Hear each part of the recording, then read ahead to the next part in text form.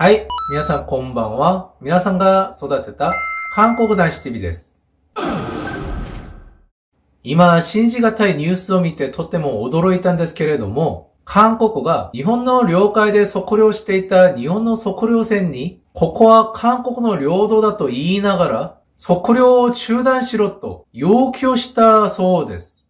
まず、記事を読んでみたいと思っています。11月午前3時25分頃、長崎五島列島の南西に位置する、目島から約140キロの東シナ海で、日本の排他的経済水域の中で、海洋調査をしていた海上保安庁の測量船に対し、韓国の海洋警察庁所属の船が、ここは韓国の領域だとして、調査の中止を繰り返し要求した。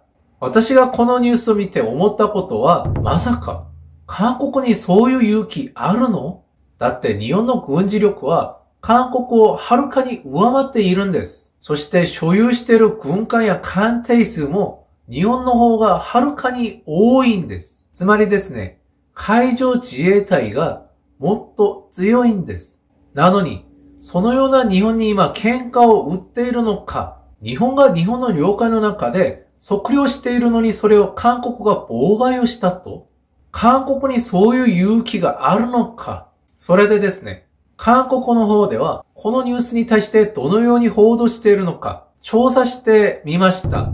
ジェジュ島の東南方の海上で日本の測量船が一時対峙したことがあった。長崎県五島南西方の海上で韓国海洋警察庁船舶が日本の海上保安庁の測量船に向かって調査活動中断を要求した。しかし日本側は自国の排他的経済水域と言いながら韓国側の要求を拒否し調査を続けた。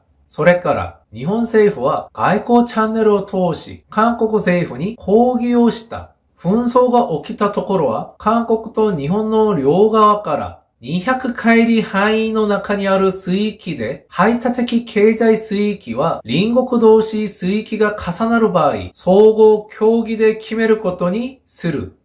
はい。では、この事件がどこで発生したのか調べてみました。名島。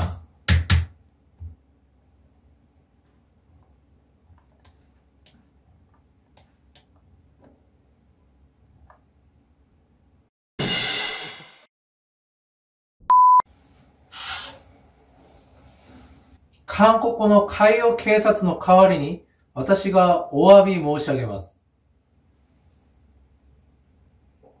これは完全に主権侵害です。完全に主権侵害です。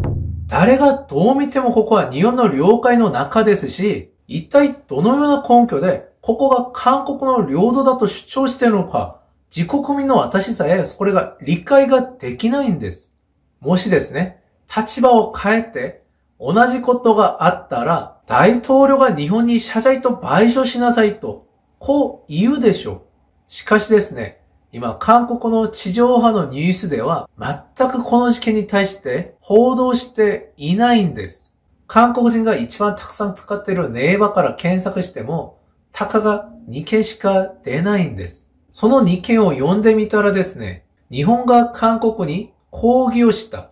このような内容です。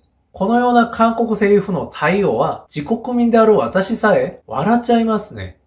皆さん、ここがジェジュ島の東南方に見えますでしょうか？目島がジェジュ島の東南方だったら、中国の上海はジェジュ島の西南方でしょうか？では、この記事に対する韓国人たちのコメントを読んでみたいと思っています。日本のコロナ感染者数が増えるから、日本政府に対する不満を韓国政府にまた転嫁しようとしているんだね。これは海軍が射撃訓練をやらなかったせいだから、国防部の責任ですね。菅も安倍と一緒だな。100年前とは違って、我らは強いです。そうですか。ここにまともなコメントを投稿した方がたった一人いらっしゃいますね。検索してみろよ。日本の領土なんだよ。何を分かってここで日本の悪口言っているのかよ。日本の政府に公務員分散が謝罪と賠償しなきゃいけないんだよ。まあ、素晴らしいお方ですね。一人で寂しく反日たちと戦っているんです。